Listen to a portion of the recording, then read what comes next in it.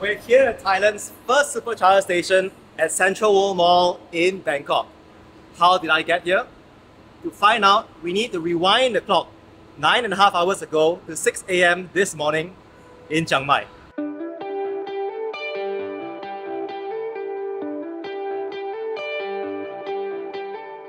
Teslas are known to be amazing road trip vehicles.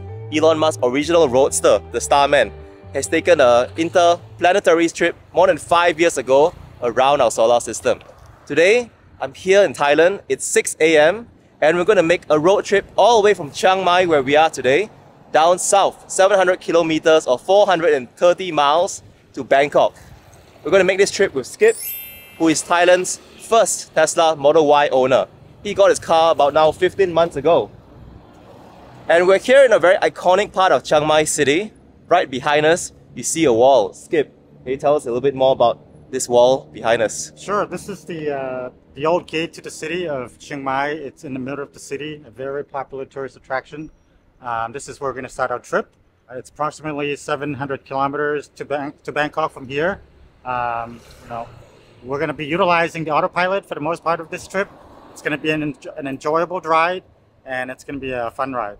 So looking, looking forward to it. Thank you for bringing me on this road trip, Skip.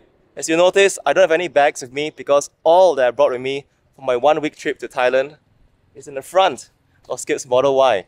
Teslas do not have an engine, which creates more space. Let's check out the front.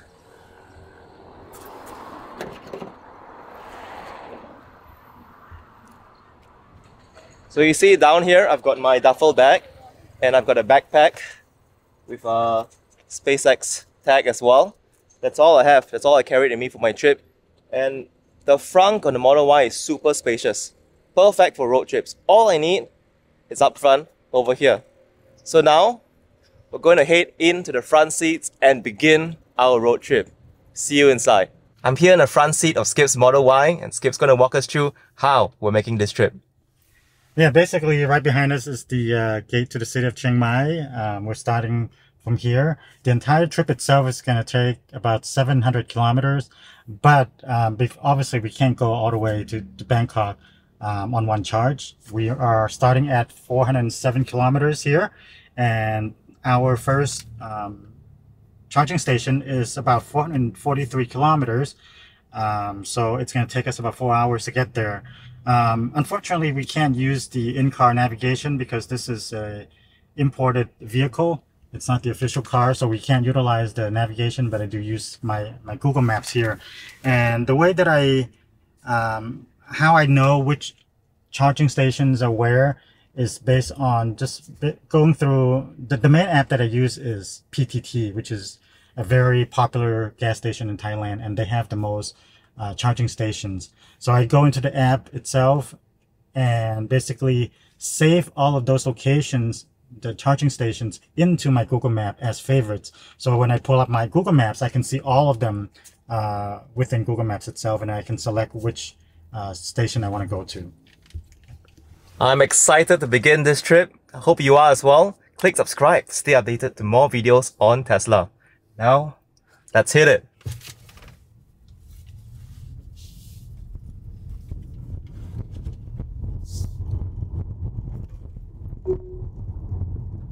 600 meters. Slight right.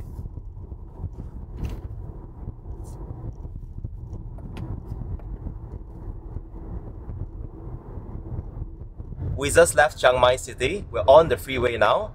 And we're going to hear from Skip, who's been a Tesla owner for more than 10 years. He's owned the Model S, the Model 3, and the Model Y in the US before coming to Thailand. You hear what's the difference between autopilot in the US and Thailand, as well as walk us through how to use autopilot and any watchouts we should have as drivers? Yeah, um, so basically I, I have just the, the basic autopilot here. Um, you know, obviously there's different levels um, of features that you can use with basic versus enhanced versus full self-driving. Um, with basic autopilot, um, the way to activate it is, you know, basically you get into your lane, you uh, push this down twice, you can hear that ding, everything that you're laying, the lines will um, turn blue. That basically will tell you that you are now in autopilot. Uh, as you can see, the speed right now, the cruising speed is set at 93 kilometers. Obviously, I can change it up and down by using this this knob to scroll up. If I scroll uh, quickly, it will go up by five. If I do it slowly, it will go up or down by one kilometers per hour. Um, and as you can see here, this is one big difference in autopilot, basic autopilot versus enhanced autopilot. The car will not automatic will not automatically change lane if there is a slower vehicle in front of you. Uh, even though I set the speed at 98 right now kilometers, the current speed is going at 77 or so, 76, and it will not change lane. So the only way I can change lane is to 600 uh, meters, disengage the autopilot continue straight. and then re-engage it again once I'm in the lane that I want to go in. Um, so here I'll show you. Wait until this car passes us, and we'll change lane. Um, but while we're waiting, um, the autopilot is is really great in, in Thailand versus uh, the US. straight. It's basically the same thing. Um, you know, the same features, the same software, basically. Obviously, the only difference is in the traffic itself. In the US, the roads are much more organized, uh, wide open. Cars drive. Uh, the people follow the rules much better um, in the U.S. versus in Thailand. You have motorcycles weaving through in and out uh, all the time. Um, so you just have to be careful. Sometimes, you know, if, if you get cars cutting in front of you, um, you know, the car may, you know, slam on the brake. But I haven't seen a whole lot of that uh, recently. Um, used to do that. Uh, there we go. I'll disengage to go into the faster lane. So we can get away from this In 800 slow meters. vehicle. Keep right at the fort. I'll set the speed to 100 kilometers. And uh, yeah, And that's it. A lot of EV owners notice that when they drive too fast, their range goes down really quickly. It drains their battery, state of charge quickly. What's the, in your experience, what's the optimal speed to when making a road trip like this? um, I've seen that about 100 kilometers, 110 or so is a very optimal speed. Um, you know, even also utilizing the air conditioning going at this speed, you should mostly get the range that, that you expect. And also, you can look at the um, the energy app here as well. That if we are going at this speed, the car will tell you when your projected range will Continue be. straight. Um, you can also see another graph here. It basically shows you, you know, if you're conti- continuing at this speed, um, you know, how how much range you'll have left by the time you uh, reach your destination. This is really cool. All information available in the driver's fingertips. The new energy app has so much more data. Tesla is a very data driven company and also empower owners and drivers with the same information to help us plan and make better road trips.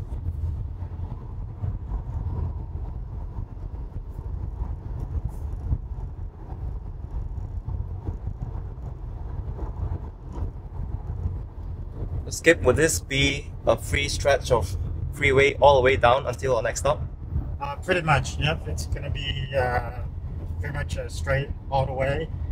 Um, yeah, still to take us another 30 hours and 50 minutes or so. And uh, so right here is actually the, the gas station that uh, PTT station is one of the most popular one in Thailand, which has all of the. Uh, I think right now they're really, really ramping up the installation of charging stations at all of their gas stations. Um, I've seen in Bangkok even some of the smaller gas stations, some of the older gas stations, they're installing charging stations there as well. So, and I think I just saw an article in the news recently um, that they were saying uh, they are going to be investing heavily because they noticed that that they know that they want to get more revenue out of you know people charging their EVs in the future. That's definitely going to happen with Tesla's official launch in Thailand just last month. And the supercharger network is going to be a good way to also incentivize local charging networks to do better. Superchargers are such a seamless experience. We're going to land at the Central World Supercharger station at the end of this trip. A common question a lot of our viewers are asking Skip how's the ride comfort? How's the suspension in road trips? So the suspension for the Model Y for the the vehicle that I have here, I, I would have to admit that it's a little stiffer uh, than the one that I had in, in the US. But from what I've heard, though, from some of the reviews that I've seen, for the official Model Ys uh, that Tesla brought into Thailand, the suspension is a lot better than this vehicle. Uh, I've seen people saying, wow, they drove the, the gray market vehicle, and when they drove the Tesla official vehicle for, for Thailand, it's night and day. Um, so it's a lot softer. The Tesla vehicles like the Model 3 and Model Y, they've been around for years. They may look very similar outside, but when you drive it, actually most of the components, most of the parts are constantly being improved. So you can sign up for a test drive for the Model 3 and Model Y with Tesla Thailand in Bangkok. I'll put the link down in the video description. I hope myself as well to test drive one of the newer Model 3s. One thing you'll notice as well, uh, one, um, you know, there's a something called the nagging, uh, basically uh, within autopilot. If you don't touch or if you don't give any feedback to the steering wheel, um, the autopilot is going to more or less trying to ensure that you're still awake and you know you're not falling asleep or anything. So it will start flashing blue light, um, and if you don't give any feedback to the steering wheel after that, I think it will just keep on flashing faster and faster, and then until will start beeping as well to ensure that you are currently in control and engaged and, and alert. That's a good safety feature, especially for many who, unlike Skip, who's been driving a Tesla for 10 years, many may be new and you don't want to put too much trust in it. It is a driver assistance, not a driver replacement. We're now 200 kilometers into our trip. Around two hours have passed. It's now 8.30 a.m. here local time in Thailand. And we've been driving on autopilot for the whole time, mostly, except when we had to change lanes or when there were stops. Skip, how safe do you feel with autopilot here? Yeah, I feel completely safe. Uh, you know, and it's also very, very relaxing to drive in autopilot. Uh, once you have experienced autopilot, you're not gonna ever want to drive anything yeah, long distance and anything else other than autopilot. It really gives you the flexibility to eat, um, you know, with with with knowing that the car is, is you know driving itself and it's keeping you safe, and um, it's very comfortable. Uh, by the time you reach your destination, you're not going to feel tired because you're you're able to relax and you don't have to really pay too much attention to to, to the traffic. Although you, you still need to make sure that you know you're aware of your surroundings because things do happen. Autopilot is not perfect, but uh, of all of the times that I've driven in autopilot uh, in the U.S. and in Thailand, I've never had uh, any accidents so far. So thank God. I do things really relaxing. These are the grapes from yesterday's video in the vineyard. Seedless, crunchy, really fresh. Now I also noticed that Skip, you have your foot on the accelerator here. Yeah, that's uh, just in case. Uh, like I said, things do happen, um, so you need to be ready uh, to take over from autopilot. Uh, something was to happen, uh, you just need to, to, be aware and be ready to, to take over. So it's a good safety practice. Autopilot is Tesla's version of traffic aware cruise control. You technically don't need your foot on the accelerator, the car continues moving, but having it there on standby just keeps us safe to react to things. Cars swerving to our lane, unintended obstacles, autopilot or catching something in rare occasions. We're getting pretty close to our first and only charging stop for this road trip. So Skip's gonna walk us through how we charge and what we're doing here very shortly.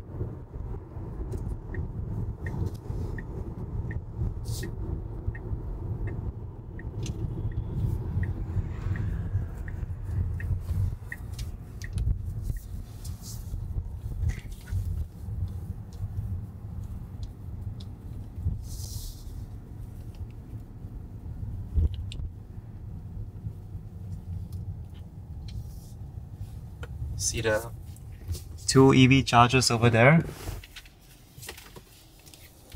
This is actually a gas station. And he has EV chargers. Alright. Can you tell us a little bit more about this place? Yeah, so um, as you can see at the sign over there, um, actually they're advertising EV charging station by Elex, which is I think it's one of the local Thai Power company, um, EGAT. Um, yeah, basically this charging station um, has two ports. Uh, one I think you can do reservation, and another one is for walk-in. Uh, the speed here I believe is up to 120. Um, so there's an app that I can use. Sorry, right here, real quick. Alexa is the app. Um, you know, you just go up. You basically go up to the charging station and scan, and you know, pull out the plug and plug it into the Tesla. So basically, uh, you open up this app, and as you can see here, the location of the car um, you know, showing that uh, there is charging station right there. Basically, we would tap on this um, scan QR code, go up to the station, um, scan, pull out the plug, and plug it into a Tesla. Okay, let's see how that works. Follow me.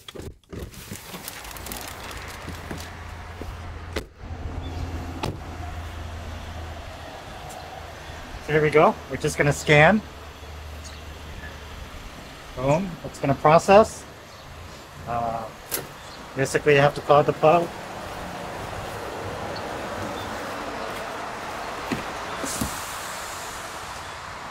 Plug it in. Continue. Start to charge. That's it. As we're waiting for the car to charge, I'm going to ask him a couple of questions as we sit in his trunk.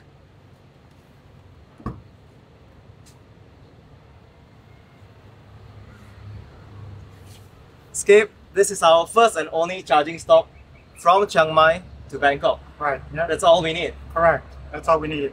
Uh, it's about 700 kilometers from Chiang Mai. Uh, it was 343 from there to here. So we just need another 350 or so to Bangkok. That's it. That's pretty impressive. Is there peak and non-peak charging in Thailand? There are, but for this particular charging station, uh, there isn't. But for PTT gas station, uh, they do they do have peak and off peak, and peak starting from 9 a.m. to 10 p.m. And anything outside of that is off peak. The rate for off peak is 4.5 baht uh, per kilowatt, and then the uh, peak would be 7.5 uh, baht. For a road trip like this, 700 kilometers or 430 miles, how much would we typically be spending on charging? Uh, if I stop just once like this, it's only about 250 baht or so. Uh, definitely less than 300 baht. 250 baht, roughly in US dollars, that would be Uh, less than $10, about uh, 8 to $9. less than 10 US dollars for a road trip like that. That's pretty insane. And our next trip, our next stop would be in Bangkok, which is going to be a free supercharging session. Yes, superchargers are free for now in Thailand. So if you're a Tesla owner, maximize it. Not just in Thailand, if you're a Tesla owner in Malaysia or Singapore, drive up to Central World, free charging Exactly. for now, limited time only. It's like how in Singapore the charging was free for a couple of months before Tesla started charging for it. So from 1 to 10, 1 being terrible, 10 excellent. How will you rate Thailand's public EV charging infrastructure today? I say almost a 10. Um, you know, there, there are plenty of charging stations in Thailand. Um, you know, I've had this car for about a year and a half. I've already put in 40,000 miles, uh, 40,000 kilometers. Uh, a lot of that is driving back between Bangkok and, and, and Chiang Mai, as well as all the way going to the southern part of Thailand. Uh, I've had no issues. Um, you know, again, on top of um, utilizing the autopilot, it's a it's a very enjoyable way to, to drive in Thailand long distance. The charging infrastructure is good. We Yeah. actually have a BYD Atto 3 next to us. charging by our side. With Tesla officially launching in Thailand, they're going to have multiple supercharger stations throughout the country. So it's only going to get better from here. Talking about the car being charged and the car being re- being fed, it's, I think it's our turn. As uh, Skip mentioned, I also want to get some coffee, get some food as well. So we're going to head inside, get some food. We just got our drinks. We're more than halfway done. Yeah. So cheers to that. Yeah, yeah, that was quick. How do you monitor the state of charge while we're sitting here in the cafe, Skip? Yeah, so basically, we, I can look at the Tesla app, and you know, it shows me the state of charge, how much more time is left. Um, So we can actually show it to the camera. State of charge over here, as you see in the, in the middle of the screen. Down here. There's a lot of glare. Okay. Yeah, so we're uh, at 327 kilometers, and we just need actually 316. So I just need to add uh, another 20 or so as a buffer, and Yeah. then we should be able to go in five or 10 minutes. So we're 316 kilometers away from Bangkok. I want to talk about the car that we're riding in, the Model Y. Skip, you've owned the Model S, the Model 3, the Model Y. How would you rate the Model Y's uh, family road trip vehicle? Uh, it's very roomy. You know, I like the headroom. I like the the fact that it's very high up, so it gives you good visibility on the road. Um, from a space standpoint, uh, it's got a lot of space. Um, especially, you know, when I when I moved to Chiang Mai from Bangkok, I was able to pack a lot of stuff into the car. There's the front, there's the trunk, lots of space underneath in the back seat as well. You can fold the seat down. I had a cat at the time, so I was able to bring my cat and all of the stuff that I wanted to move with me. Um, so yeah, it's a good road trip uh, vehicle. It's good for moving as well. Um, in the future, you know, I'm sure if Tesla brings in the uh, The roof rack? the roof the roof rack, you know, you'll be able to store a lot more stuff um, as you're going on the road trips. Our friends in the US, you've been living in the US for many years, so we have the Model X there, which is an even bigger SUV. There are rumors that the Model S and X may come to Thailand by the end of this year. So some owners are wondering, if I have a family, Skip, should I just wait for the Model X or is the Model Y good enough? Uh, well, the Model X has higher, you know, kind of a little bit more luxury. Um, there's the screen in the back seat as well for your little ones, right? Um, it really depends on the needs of the uh, individuals, but um, you know, if you can't wait, I say go for the Y. Um, but if you want to wait, uh, the X is a great car as well. It's very roomy. There's a lot more luxury to it, and um, you know, it's got the the gold wing door that you know for those who like to uh, be a little flashy when you go to different malls and whatnot you can show the car kind of opening up the doors That's right, if you like the bling, you can only get it from the Model X Falcon wing doors. Yeah. And the Model Y is a good deal here in Thailand, 1.9 million baht is what it starts with. By the time they launch the refreshed S and X here, it may be probably onwards of 4 million baht. Mm-hmm. So double the price. You make the call. What's right for you? The Model Y today is a great car. I'm enjoying it so far. So we're gonna finish our drinks, wait a couple more minutes, and we'll see you back inside our Tesla. Both of us are recharged, the car's recharged, so let's head off. all right so we'll just unplug the car or unlock the, the charging port use the app to unlock it turns white just pull it out lock it back in and then we're ready to go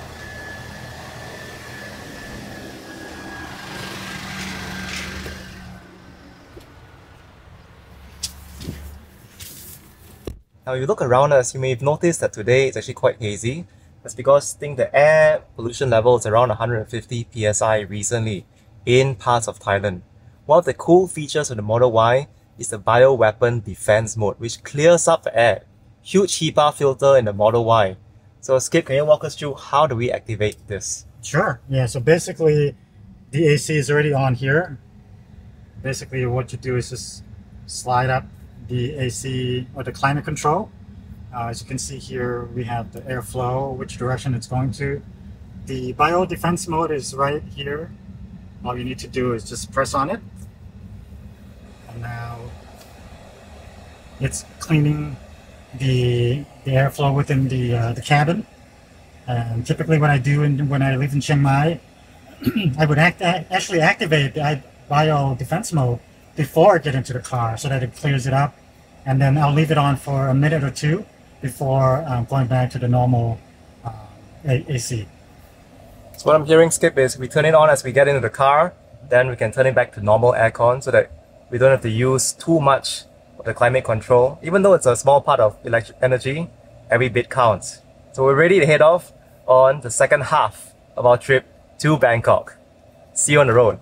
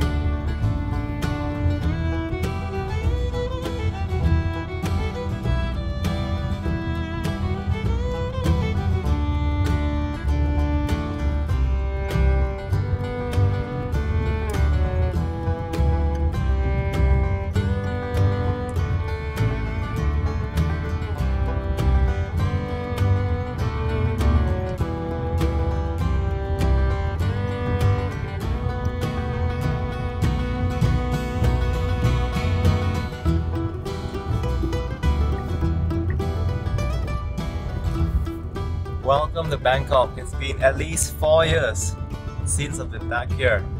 So it's nostalgia for me. I used to live in Bangkok for almost three years, almost more than a decade ago. So looking forward to see many friends here in the next three days.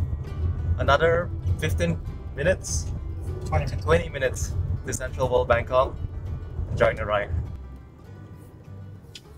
We're pretty close to Central World. Skip's going to show us how to check whether superchargers are available on the Tesla computer. Yep. So basically, on the navigation, um, you can kind of look up the nearest um, supercharger, and what's on there is um, some details regarding that particular supercharger, and it shows that we have five stalls that are available, and then also the speed of charging um, there as well. So there's a total of nine stalls, and five are available.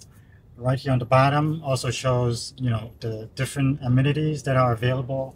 Um, I think that's restroom, restaurant, coffee, hotel, and shopping. Um, as you can see, the distance is about 1.2 kilometers. Um, so yeah, we're just gonna get there hopefully within the next five minutes or so. We are pretty close by. In the future, as Tesla opens up more superchargers, you'll see more of them on the map. They'll also start showing other non-Tesla chargers as well. So all you need to do is just click on the different lightning icons for different speed. 1, 2, and 3, 3 being the fastest ones.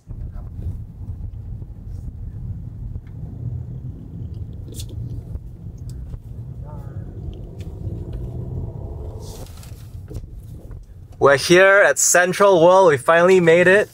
It's been nine and a half hours. It's now 3.40 p.m. Thailand time. And we've got 41 kilometers state of charge. As you can see, clearly need some supercharger love here. You can see the huge mall right above us.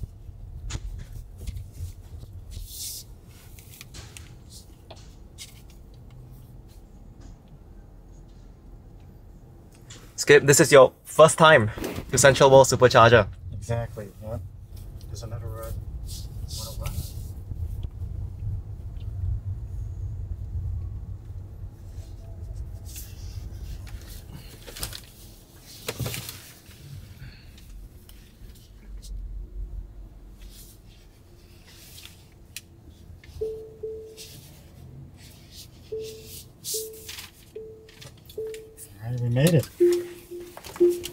We made it to the Tesla supercharger here at Central World. Nine and a half hour journey. Yeah. How do you feel, Skip? Uh, great, you know, uh, with the use of, again, autopilot, um, not that tired at all. I'm glad to be back in Bangkok again using the supercharger for the first time. First time supercharging. Before we do that, let's take a look at the Energy app and see what insights it has for us. Yeah, so as you can see here, uh, the average of the drive, at least in the last 50 kilometers or so, was uh, averaging around 130, which is uh, good standard, a uh, good average. Um, I think the car, the um, the typical average is 140. Um, also here we can see since last charge we have driven 307 17 kilometers and um, yeah, and um, with the average of 143 watt hour uh, per kilometer, um, right at average for the entire trip.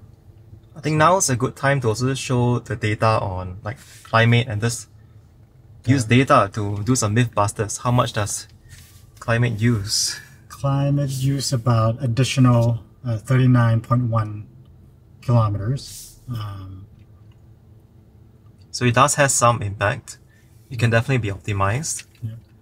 I know that I've driven uh, a little bit faster on this uh, segment of the trip, so so we use up a lot more energy as well.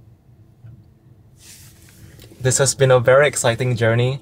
Now Skip's going to show us just how much easier it is charging on a Tesla supercharger. Again, this is Skip's first time doing it here in Thailand.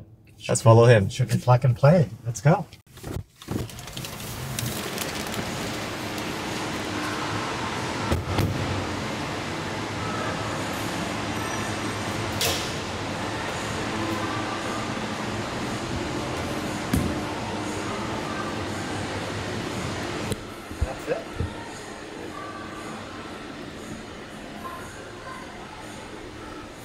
And there we go.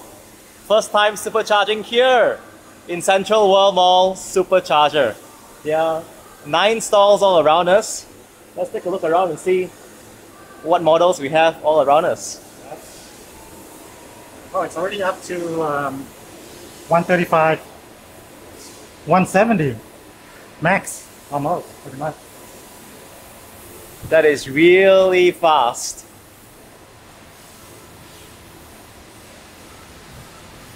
So let's not uh, do a short walking tour around the supercharger station and maybe Skip can give us a little bit of commentary on what he sees. Check out the new, uh, the other red Model Y here as well.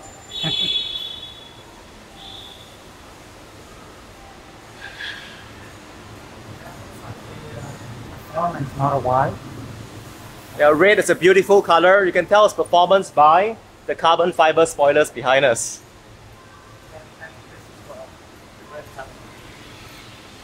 The red calipers and the dual motor the red Lion mini fit. So that's a performance Model Y.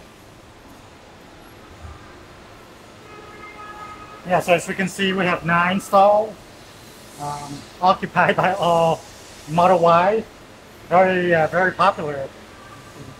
Um, so this is the first um, level of parking underneath the, uh, the mall.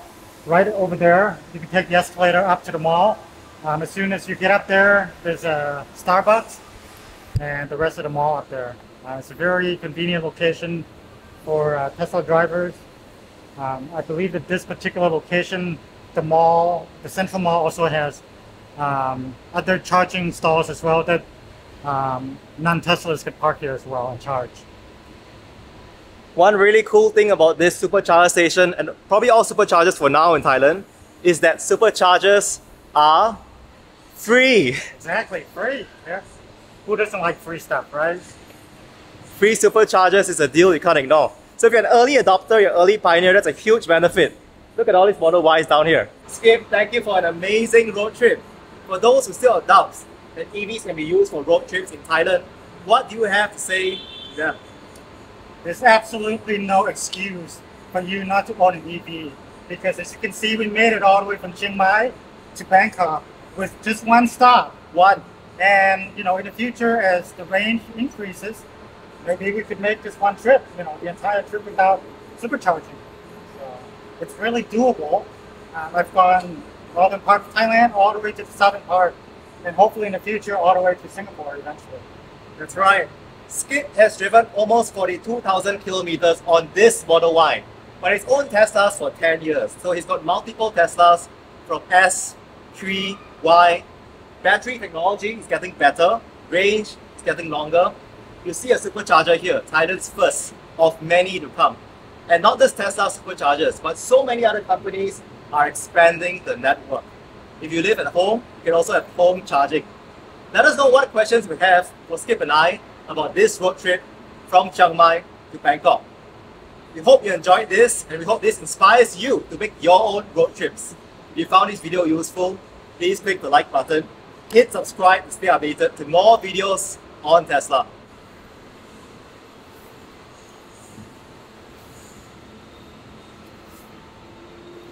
This has been a very eye-opening road trip for me.